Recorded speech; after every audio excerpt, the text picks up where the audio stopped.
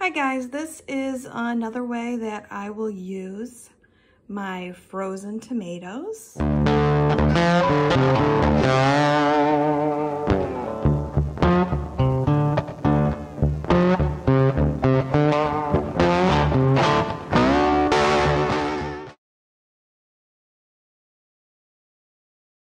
These are all unthawed now. And I'm just going to add them to my NutriBullet. Um, I am actually just gonna water down this ranch because I really, really like the taste of tomato juice in a salad. So I'll be back in just a minute. Here it is.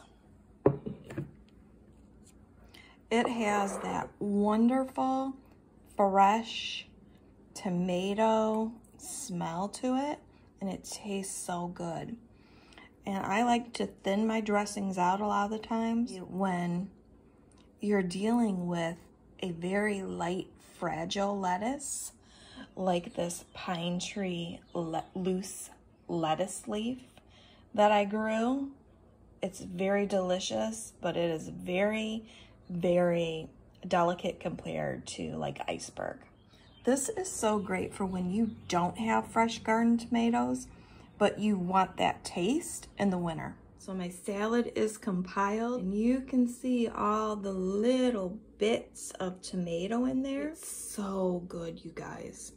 Especially when you're stuck in the house, it's snowing, you don't have a tomato for your salad, but you want that taste. This is a fantastic solution.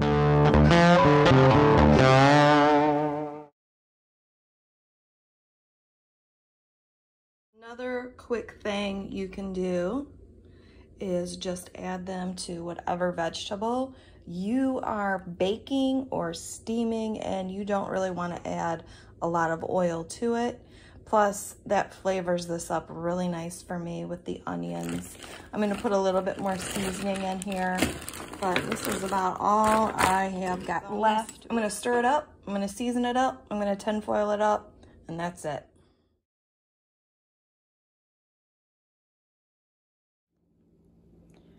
Okay guys, so each year when I have an abundance of cherry tomatoes, what I will do is I will cut them in half. I'll put them on a cookie sheet with parchment paper, cut side up, I'll freeze them, and then I transfer them all into a big gallon baggie.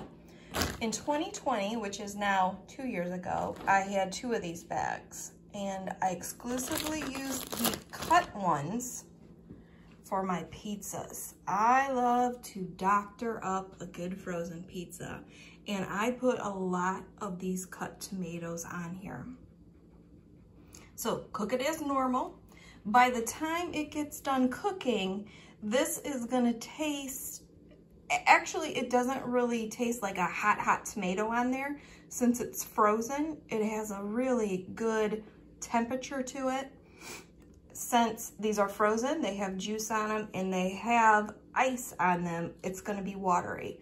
So you're gonna have to take a paper towel and blot it. So let's check back in just one minute. All right, you guys, so the pizza's cooked and I am just blotting this. You may have to blot it a couple times because there is now that ice that has turned to water. Not to mention the fact of all the juice that got frozen into those tomatoes, which is so good. So at this point, I'm just gonna blot because I still want some of that juice on there, but I'm really just trying to get rid of the water and the grease, but sometimes, you know, you can't separate that. And you are gonna get little seeds in here. If you need to do it again, we can. It still looks a little shimmerish. Now your cook time, you're probably gonna have to cook this for maybe one or two more minutes, feel it out, because you just put a lot of additional frozen stuff on top of this. And the manufacturer really did not accommodate for that in the cooking instructions. Oh, and we'll just peel that off. And see, that's, I can still touch that. So by the time that's cooked, it's not scorching. It's just perfect tomato temperature. Let's get that off. And you can see they flattened down. It doesn't matter. I'm still going to get that fantastic taste, which in the winter, that's all we can really hope for. In the summer, I like to put some fresh ones on. And I've got a second one over here going. And you can see I've also added some chives from the garden.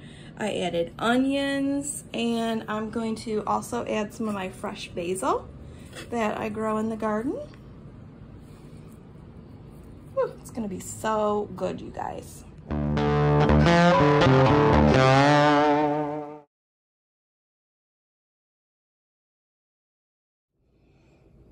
right, you guys, another way that I like to add my frozen tomatoes is to any type of roast that I'm making that doesn't have a lot of liquid in it. Okay, it's gonna add a great taste to that.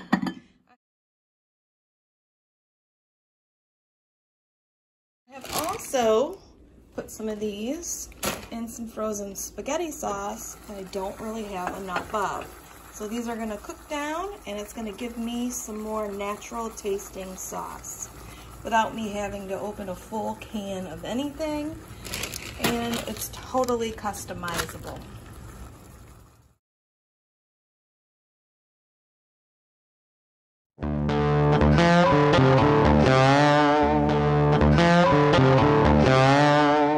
So much for watching, and I invite you again to subscribe, as I have been gardening for over 40 years and have a lot to teach, show, grow, review, experiment with, and my favorite, a specific variety everything deep dive. So let's try new things together, mix it up, and have a glorious day.